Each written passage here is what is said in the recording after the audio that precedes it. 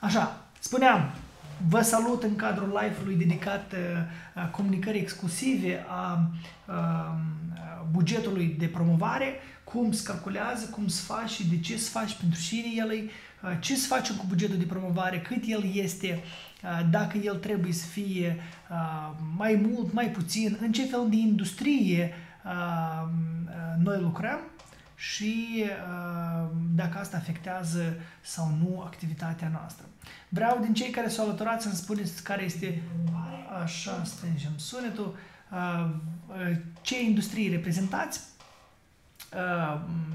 cine sunteți și cu ce voi vă ocupați.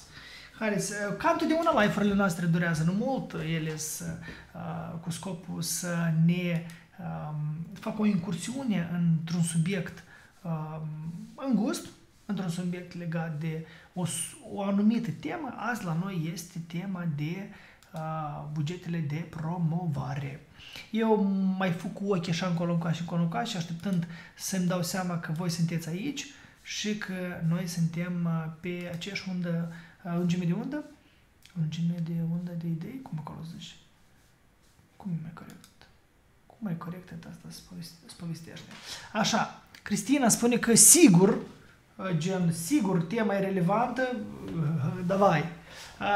Bun, Mie spune Dumitru Talbazanu, ultimii ani lucrez în domeniul social media, activ, sunt Facebook certificat Moldova, sunt executiv MBA certificat, ceea ce spune că pe lângă asta avem agenția Sub Digital Team cu peste câteva sute de clienți pe care îi promovăm, Talmazan School, care are în case-ul lor sute și mii de, chiar mii de absolvenți.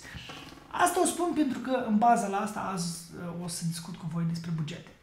Vreau să vă întreb dacă ați auzit vreodată, întâmplător sau intenționat, despre așa zisa pâlnie de marketing sau pâlnie de vânzări, în care la noi aici ajung bani de obicei, ce cantitate de bani uh, influențează inclusiv partea asta de promovare.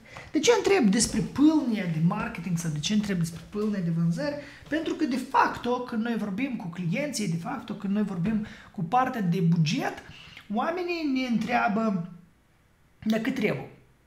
Și eu întreb dacă te aveți. De, dar spune că trebuie, dacă trebuie 1000 și facem 10, punem și 2000 ca să facem 20.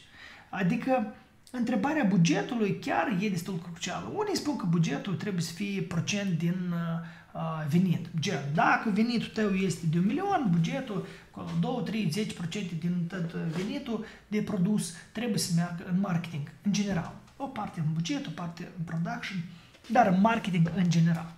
Respectiv, de aici vreau să pornim uh, ca să ne dăm seama, voi, din cei care ascultă, scrieți-mi, vă rog mult, cum voi calculați uh, partea de marketing? Care tehnică, tehnologie o folosiți în lucru cu uh, bugetarea, în lucru cu identificarea bugetului ideal pentru campaniile voastre de marketing? Uh, cum lucrați? La ochi? Uh, cât vă zici cineva, cum voi lucrați în formatul ăsta? Puteți să-mi dați uh, măcar un thumbs up să înțeleg că vă mă vedeți. Da? Vă rog mult. Uh, Reșind din asta, noi avem două realități. Eu vă spuneam despre această pâlnie a marketingului la care noi să revenim uh, ca să finisăm cumva logica, dar sunt două situații foarte simple care ne confruntăm noi zi de zi în formatul ăsta. Prima situație este că clienții sau agențiile sau prestatorii în primul scenariu răspund la întrebarea cât avem. Cât avem? Adică, de facto, pe de o parte, noi bugetul de promovare o să îl calibrăm la realitatea, nu, câți bani este, e că am 100 de euro, ne promovăm cu 100 de euro. A doilea scenariu este câți trebuie să ne vadă. Adică noi mergem prin altă perspectivă, știind anumite elemente a pâlnii noastre de marketing cu care să încununăm live-ul nostru, uh, noi spunem că dacă câți oameni trebuie să ne vadă ca noi să facem vânzarea. Apropo, prieteni, dacă sunteți atât de buni la suflet, faceți un share la live-ul ăsta să vadă prietenii voștri și dacă o să faceți un tagging pe Instagram, o să fiu recunoscător. Uh, respectiv, revenind, uh, sunt două situații, câți bani avem pe Facebook și câți trebuie să ne vadă. Pentru că uh, prima variantă e comodă pentru antreprenor, uh, sau mai bine zis, uh, pentru uh, cei care dau bani, a doua, cât vrem să ne vadă, ar fi mai comod pentru specialist. El spune, spune cât vrei să te vadă și eu îți spun câți bani îți trebuie. Și în diferite nișe, diferit lucru merge.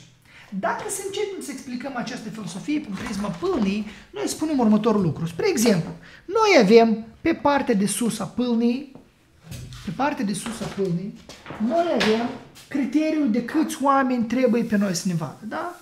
Adică în partea de sus, noi răspundem la întrebarea, dar câți oameni a să ne vadă în sensul ăsta? Și, spre exemplu, noi zicem, ar fi fain să ne vadă 100 de mii de oameni.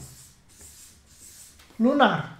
Ar fi fain să ne vadă 100 de mii de oameni. Da? Acum, ca să ne vadă 100 de mii de oameni, noi ne adresăm la primul parametru de calibrare a bugetului, care este, nu că primul, unicul, unul din ele, este CPM, cost per 1000 de afișări. Adică uitați-vă, întrebați de specialiștii voștri, dar cât e CPM-ul la noi? în trafic, cât e CPM pentru audiența rece, cât e CPM pentru audiența caldă, cât e CPM pentru audiența remarketing, cât e CPM pentru trafic spre site sau cât e CPM pentru uh, video views sau cât e CPM pentru conversion. Diferit instrument, diferit scop, diferit nivel de încălzire să aibă diferit CPM. Dar, spre exemplu, noi știm că CPM în Moldova um, plus minus este de 1-10 dolari. Adică, dacă noi suntem mălățâni, atunci CPM-ul nostru a să fie un dolar și respectiv, ca să arătăm la 100 de mii de oameni, 100 de mii de ori, mai bine zis, noi a să cheltuim 100 de dolari.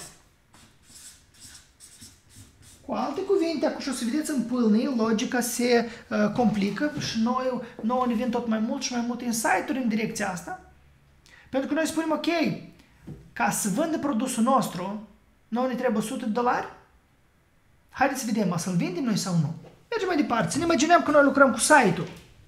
Noi știm că asta este vizualizare, de câte ori o vizualizat. O să mai fie un criteriu care înseamnă frecven frecvență.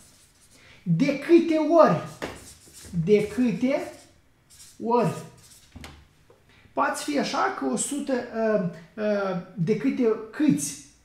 Aici câți, aici de câte ori. Câți poate fi, spre exemplu, 50 de mii, de câte ori de 100 de mii. Și că asta este CPM-ul. Asta de, cu frecvența de 2.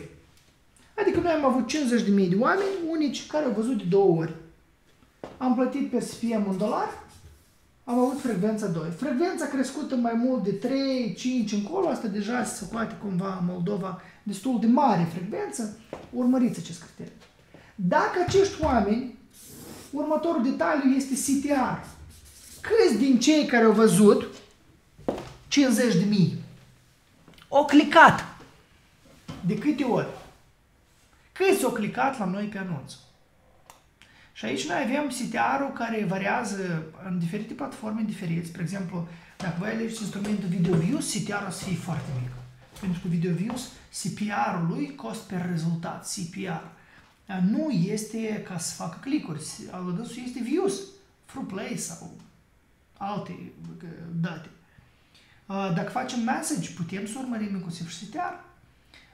Dacă avem elementul de trafic spre site, CTR-ul este must-have, ca noi să îl urmărim. Și atunci se primește așa o chestie și noi spunem, ok, dar ce înseamnă rezultat pentru mine? Și voi traficul faceți pe site. Un procent, mai jos de un procent, se socoate că e cumva așa, e negativă publicitatea. Da? Mai jos de un procent, publicitatea o putem califica un pic publicitate nu tare ghine lucrează, hai să spunem așa. Dacă noi având un procent CTR, dacă noi avem un procent CTR, și la noi uh, a fost impactul de 100 de mii, 100 de mii de oameni am arătat, atunci uh, la, pe site la noi să intre 1000 de oameni. Și noi știm că cu un CTR de un procent la noi intră 1000 de oameni. Mai departe, din 1000 de oameni, la noi completează formularul 10%. Lead, L1, 10% completează formularul. Asta înseamnă că noi să avem 100 de formulare completate. Mai departe, cel mai important lucru care vreau să o menționez aici, pentru cei care setează publicitate, pentru antreprenorii care privesc și vor să înțeleagă cum lucrează publicitatea. Elementul important este că Facebook și Instagram nu are garanție să vândă. El nu are responsabilitatea să vândă. Facebook și Instagram poate să genereze lead cu alte cuvinte, să genereze acest L1, 100 de formulare sau acest clicuri de CTR pe landing-ul pe site-ul vostru. Mai departe intră în DAS departamentul de vânzări și el preia aceste 100 de formulare și în diferite nișe, în diferite business-uri, el o să calibreze aceste formulare și o să, uh, uh, o să le uh, spună că 70 dintre ele sunt normale. Da, ați avut nu odată cei care ați vândut că omul spune că telefonul nu e corect uh, sau uh, noi nu mă să ne interesăm sau noi nici nu ne trebuie, cred că soția au scris, noi nu știm care e fișca. Respectiv, noi să avem aici așa o calibrare la nivel de uh, lead de, nu știu, nivel 2, în care să fie 70 de oameni calibrați normal. Mai departe, din 70 de oameni, departamentul de vânzări a vândut la 50 de oameni. Ce cu mediu este 1000 de lei și mai departe uh, totalul la noi este de 50 de mii de lei. Cu alte cuvinte, matematica spune că noi am investit 100 de dolari și noi am făcut 50 de mii de lei. Din păcate, asta este o matematică nu neapărat pentru toți utopic, da? dar nu este atât de simplu să faci această formulă. Dar ceea ce aș vrea să atrag atenția către toți cei care ascultă, o să vadă reluare, care faceți publicitate, dacă la voi pe foaie nu ies această uh, matematică, nu gen pe foaie că ați luat, știți cum este așa o vorbă, prichini, da? Imaginați-vă, voi aveți 100 dolari, pe voi să vadă 50.000 de oameni, de 100.000 de ori, din 50.000 de oameni o să clicheze 5.000 de oameni, din 5.000 de oameni, 100 să completeze formularul, din 100 să completeze formularul, să cumpere 100, cu 100 de lei am făcut 10.000 de lei. Dar am cheltuit 1.000 de lei. Super! Real este pe foaie. Este realizabil? Da. Ok, atunci uh, dați gazul, încercați să testați ipoteza în realitate. Dacă la voi pe foaie nu merge nică, nu știu dacă să meargă și în setare. Uh, spuneți-mi pe cât de relevant este acest moment. Dați-mi un feedback, plus, minus, uh, like, share, comentariu, tag. Dați-mi să înțeleg. Uh, voi sunteți aici. Sunteți cu mine. Dragoș, Tatiana. Așa, pentru serviciu masaj, 5 dolari pe zi promovez postările. Tatiana spune, pentru 5 dolari pe zi. Bă, bugetul de optimizare pe zi este o variantă, dar cum lucrează data asta? Una din ipoteze după care se consultă Facebook și aici gândiți-vă voi cum vă voi mai frumos. Imaginați-vă, voi spuneți așa, uite, dragă Facebook, eu am 5 dolari pe zi, pe zi. Eu promovez 20 de zile. Cu alte cuvinte, eu voi avea cât? 10 zile 50, 20 de zile 100 de dolari. Asta este primul om. Este Tatiana. Tatiana la noi este. Uh, al doilea uh, om spune, uh, ok, la mine este 100 de dolari pe toată perioada 20 de zile. Teoretic, fiți de acord că acești jucători, am mai în spate pentru ca să vedeți, acești jucători de uh, 5 dolari și de uh, uh, 5 dolari pe zi 100 de dolari și 100 de dolari pe 20 de zile, practic joacă pe același teritoriu. Da? Adică noi avem aceleași reguli. Dacă la Tatiana CPM-ul aici pe zi o să fie CPM 1 dolar, ea o să afișeze în jur de 3-4 mii de oameni zilnic în formatul ăsta. Este mare risc ca la Tatiana CPM-ul de pe zi pe zi să crească în anumite zile și 1, în anumite zile și 0,5, în anumite zile și 4 dolari. De ce? Din experiență, ipoteza mea spune următorul lucru. Dacă varianta asta de aici, eu îi spun, uite, n-ați 100 dolari, arată în 20 de zile, Facebook-ul poate să facă așa, într-o zi se încheltuie un dolar, într-o zi 9, într-o zi 7, într-o zi 8, în final el se încheltuie 100. Și de ce el o să cheltuie aici mai puțin? Din câteva motive. Anunțul nu o să fie bun, concurența să fie prea mare, licitația mea nu o să corespundă criteriului. Și respectiv el aici nici n-a să mă scoate de suplintus. Dar aici o să primească concurența mea a doua zi, într-o miercuri. Li s-a oprit contul de publicitate, tama la concurența mea, care uh, avea uh, câte 100 dolari pe zi. Ei aveau un impact de 70 de milioane pe zi. Și el a dat s-a oprit contul de publicitate. Ce a însemnat asta? Asta a însemnat că publicitatea lor a dispărut din Facebook. Asta a însemnat un lucru, că la prima variantă, la Tatiana, Facebook o să arate la 4.000 de oameni, dar la varianta mea a doua este șansă să arate la 15.000 de oameni, din audiență strategică pentru că s-a eliberat audiența. Iar poi mâine concurentul a dublat bugetul, pe Tania o glușește și pe mine glușește. Doar că până la final este risc că uh, Tania să nu-și cheltuie bugetul. Tot. Este așa risc. Nu știu, Tatiana, spuneți-mi dacă are sens sau nu ce zic, dar eu aș recomanda să testați ipoteza bugetului total, nu doar buget pe zi. Uh, e bun și buget pe zi, dar testați neapărat ipoteza bugetului total în formatul ăsta. A, dacă aveți întrebări, scrieți-le, vă rog mult. Eu așa mai trag cu ochii și mă uit cine aici cu noi este. A, Dorina Apostolache. Salutare, Dorina. A, salutare.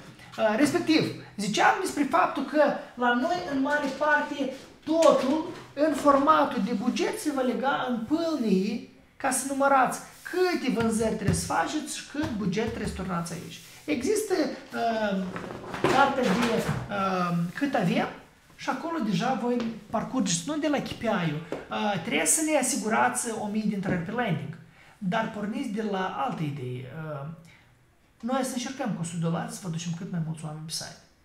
Pentru că noi nu putem să concurăm cu alți uh, promotori, uh, noi nu putem să punem bitul manual și să spunem noi suntem gata să plătim per CPM mai mult, 20 de dolari, pe 1000 de fișieri numai arătați-ne, noi suntem gata să plătim per click 30-40 de cenți. Și atunci se primește așa o chestie. Sunt antreprenori care vin cu paradigma că, uite, îți bag 100 de euro, dacă faci 1000 de euro, noi mărim bugetul. Avem așa ceva. Sau, uh, dar ce garanții puteți să ne aduceți că noi dacă am băgat, ia că am băgat 300 de euro, încă vouă am dat vreo 200, încă lui Facebook vreo 200, am băgat 500 de euro și nică vânzări. E ca momentul de întrebare am băgat 500 de euro și nică vânzări e tare des întâlnită problemă. Bugetul nu rezolvă nimic. Noi am deprins că Facebook asta este ca ca palăcică vărucealcică în care noi am pus 50 dolari și trebuie să ne ducă 500. Nu e și și za varianta asta. Noi nici la bancă uh, uh, comisionul este uh, cumva fluctuanță, cum mi mai zice lui mama lui, m-am încurcat. Adică percepeți și aduceți cunoștință șefilor voștri. Dacă sunteți șef, înțelegeți odată. Facebook asta nu e palacică vărucealăcică. Facebook este o platformă. Acolo sunt oameni jii. Voi amâia că stați și într-un moment dat o să închideți live-ul ăsta.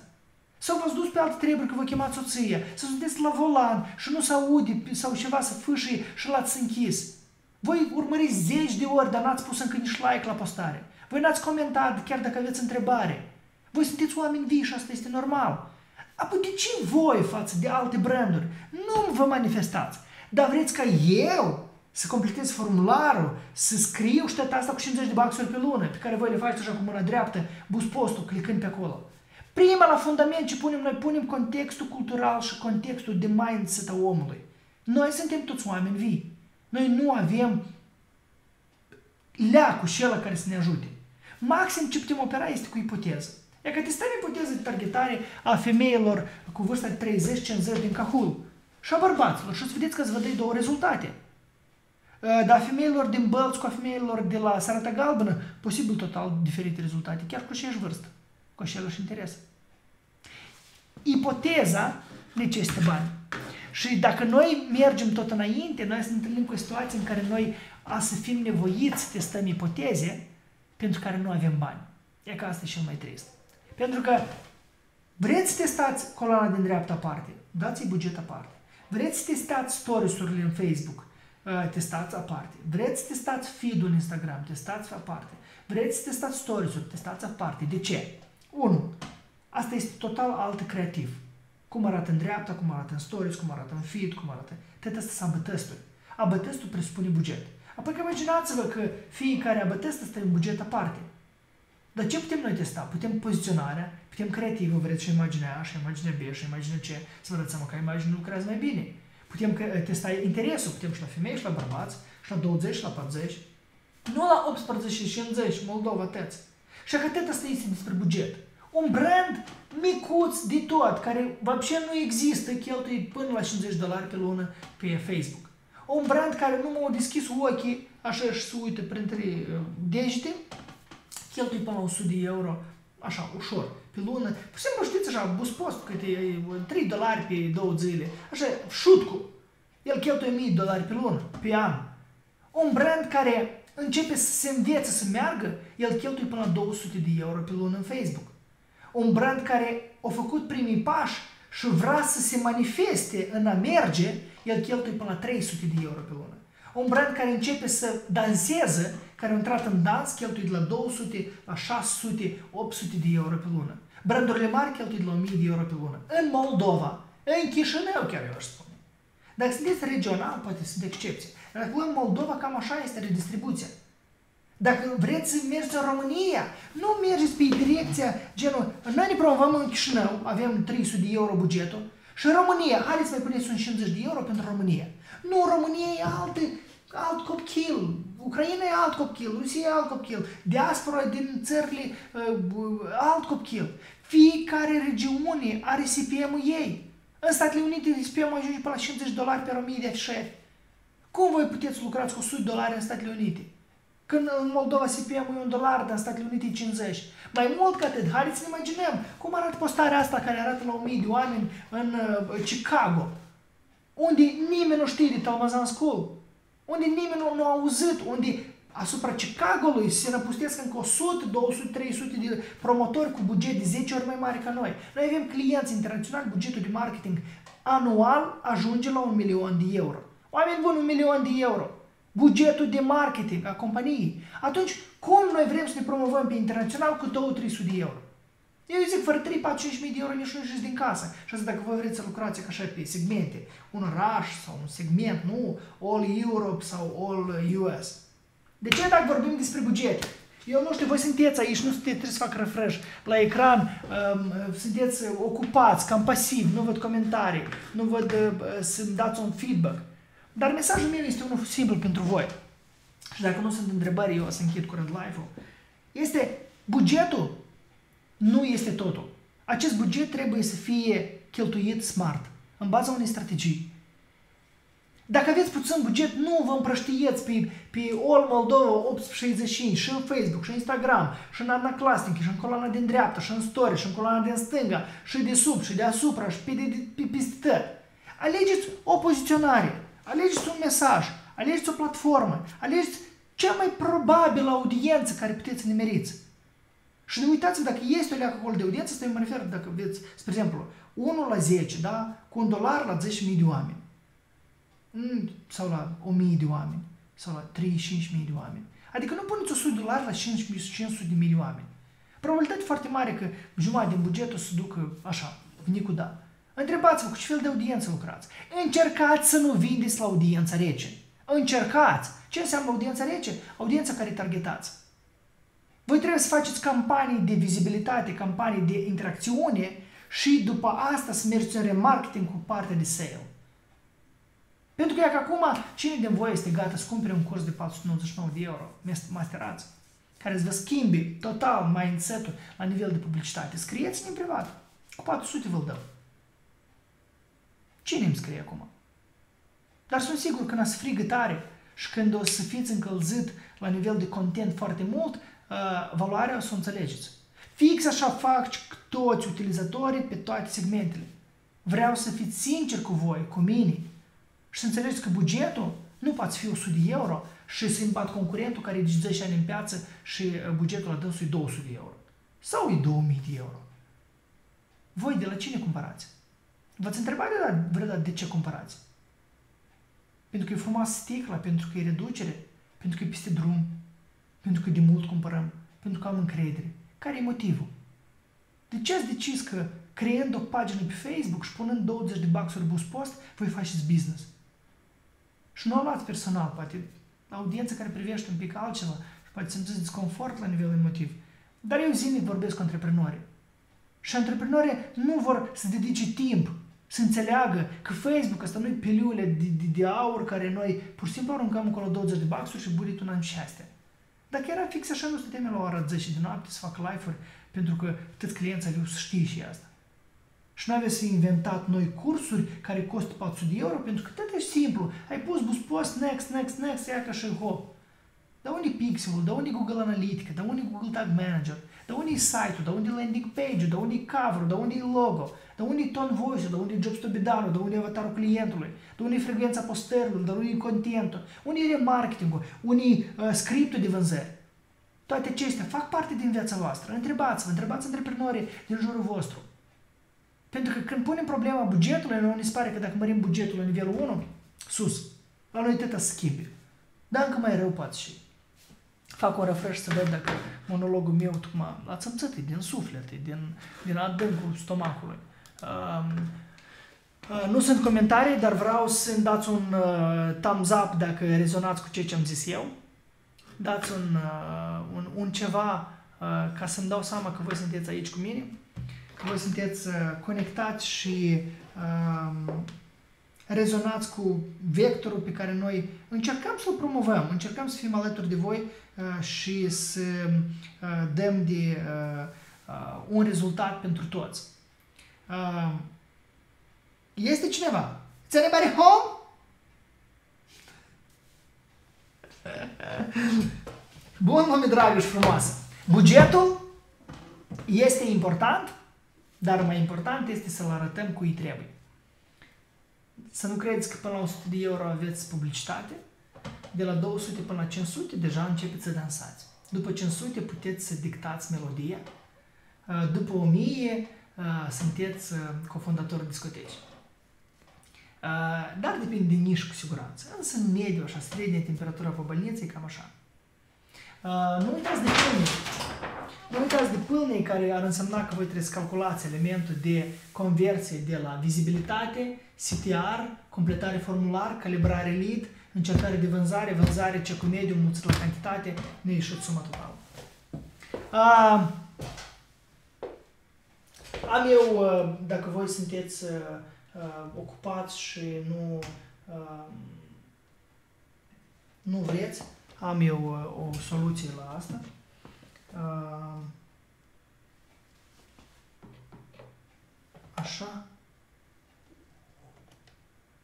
Aș, nu. E și nu sprinește, a? Vrei și nu sprinește. Ah, s-o primit. Așa, oameni buni, uh, suntem peste 1700, 800, 900, 2000 de oameni în Facebook, lume bună, uh, senzațională treabă. Uh, în sfârșit s-au conectat oamenii, like-uri sunt, share-uri sunt, uh, tot asta se vede, sper că și la voi, dacă nu, nu știu ce pot să vă ajut. În general, vă doresc o seară extraordinară. Sper mult că uh, tematica uh, a fost relevantă. Uh, Dragoș întreabă cât de important este uh, uh, cât de important este să ai site landing page, atât timp cât merg vânzările pe Facebook, Insta, de exemplu, din punct de vedere. De vedere. Uh, drag, și eu cred că orice companie ar trebui să aibă minim un landing page din seria uh, Welcome Profile Page, adică din categoria uh, portfolio de prezentare. Uh, pe foarte multe situații am ajuns la concluzia că landing page-ul uh, vinde foarte bine pentru că el focusează asupra unui produs. Site-ul poate nu la tăți trebuie, dar un landing page bănuiesc la majoritatea. Mai mult ca atât, instrumentariul Facebook oferă o altă analitică, uh, o alt stil de vânzare pe landing page decât prin message. Uh, dacă nu sunt bugete și vă aranjează rezultatul, 100% nu vă băgați în landing-uri, dar dacă voi sunteți la etapa și spuneți, băi, ar mai trebui să fac ceva, Poate să bag buget? Poate, dar poate să diversific canalele, poate să mai încercăm și în alte rețele, poate, dar poate să diversificăm platformele de conversie, adică poate să încercăm prin lead generare, prin message, prin landing, prin site, prin GDocs formular, poate să diversificăm, poate clientului nostru altceva îi place. E ca despre asta este marketingul continuu, așa că recomand să testați. Recomand să testați. Revenind la, um, la cel mai important lucru, like-urile voastre, share-urile și dacă ați făcut un stories în uh, Facebook, dați-mi tag pe Facebook ori pe Instagram, talmazan.md. Am fost alături de voi și vă mulțumesc mult pentru prezență. Sper că a fost util. Uh, cei 17, 18, 20 și ceva, 5 persoane care ați fost uh, și care o să mai revedeți, dați-mi feedback în comentariu cum vă par vouă inserțiile săptămânale pe care noi le avem la nivel de lucru cu anumite instrumente. O seară excepțională vă doresc și fiți cuminți, să aveți like-uri, share-uri, fericire, pași și dragoste și numai bine. Pa, pa, paca!